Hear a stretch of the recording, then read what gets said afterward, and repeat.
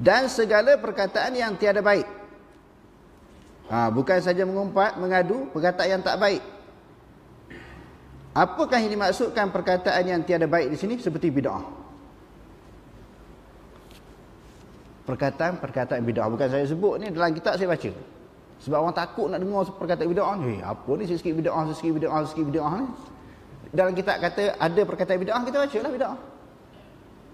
Bid'ah bid'ah ni apa dia? Sesuatu perbuatan yang Nabi tak buat, sahabat tak buat. Man amila amalan falaisa alaihi amruna fahuwa raddun. Barang siapa membuat satu amalan. Amalan ni jenis apa dia tuan-tuan? Yang jenis ibadat. Bukan termasuk di dalam urusan dunia. Semahyang, kita reka cara semahyang sendiri. Puasa, cara reka cara puasa sendiri. Haji, zakat, zikir dan sebagainya. Kita cipta satu ibadat baru yang Nabi tak pernah buat, tak pernah ajar. Sahabat tak pernah buat, tak pernah ajar kita buat. Itu dipanggil bid'ah. Sebab orang kata, ada orang kata. Ha, siapa-siapa, siapa-siapa, jangan, jangan duk tanya lah. Memang tuan-tuan pun pernah dengar. Sikit-sikit berdoa, sikit-sikit berdoa, pergi Mekah naik unta dia kata. Ha, tuan-tuan pernah dengar tak orang kata macam tu? Tak pernah dengar? Sikit-sikit berdoa, sikit-sikit berdoa, pergi Mekah naik unta. Sebab Nabi naik unta. Ini termasuk di dalam urusan dunia. Tak ada kaitan dengan akhirat. Bukan berkaitan dengan ibadat khusus. Ha, yang tu pun masalah juga. Nak faham bid'ah ni pun susah. Adapun urusan dunia, Nabi kata antum a'lamu bi amri dunyakum. Kamu lebih mengetahui tentang urusan dunia kamu. Ini hadis yang diriwayatkan oleh Imam Muslim. Tentang urusan dunia kok pandai kita nak buat macam mana? Masjid yang dibina zaman Nabi dengan masjid yang tuan-tuan duduk pada malam ini tak sama, tak apa. Mimbar pun tak serupa. Tak apa.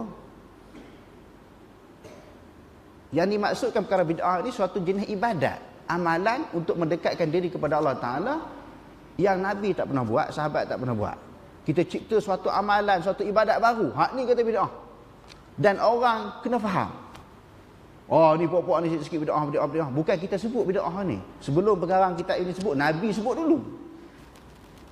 Nabi sebut dulu. Kita bimbang terlalu marah orang sebut bid'ah ni, takut marah dengan hadis Nabi. Bila marah dengan hadis Nabi takut marah dengan Nabi sekali. Sebab Nabi yang sebut dulu.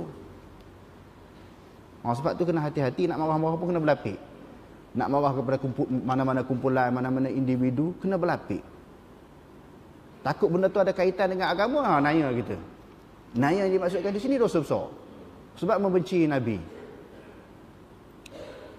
Bila seorang itu benci Nabi, tak ada dah salah satu daripada ciri ataupun sifat yang perlu ada sebagai orang beriman. Dahlah hilang ciri ataupun sifat yang perlu ada sebagai orang yang beriman. Sebagaimana hadis Bukhari menyebut di dalam Kitabul Kitabul Ilmi, di dalam Kitabul Iman.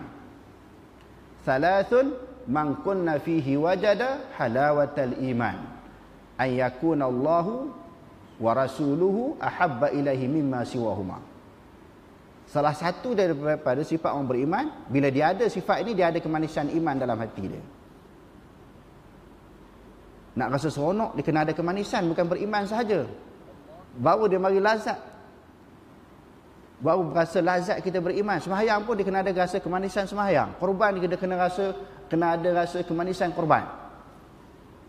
Kita buat korban umpamanya, kita sedekah daging korban kepada orang rasa puas hati bagi kepada orang miskin, kepada orang yang memerlukan. Bukan nak tunjuk kita ni duit banyak. Sebab Allah Taala kata la yanalallaha luhumuha wala dima'uha walakin yanaluhu taqwa minkum. Bukan bukan Allah Taala nak tengok daging banyak mana, darah banyak mana ditumpahkan di atas muka bumi, tapi nak tengok takwa yang ada pada dalam diri kita. Dan Allah Taala sebut innama yataqabbalullahu minal muttaqin. Korban yang Allah Taala terima daripada orang yang bertakwa, orang yang takut kepada Allah sebagaimana pengorbanan yang dilakukan oleh Nabi Ibrahim sekeluarga kerana mereka benar-benar takut kepada Allah. Okey, kembali kepada apa yang kita sebutkan tadi, isu bid'ah. Orang seronok dengar benda-benda bid'ah. Orang nak buat benda bid'ah, cakap benda-benda bid'ah, bercanggah dengan sunnah Nabi, amalan Nabi kita seronok dengar. Senyum dia dengar. Seronok. Ha. Tidak mensyukuri nikmat telinga. Ha, tidak mensyukuri nikmat telinga.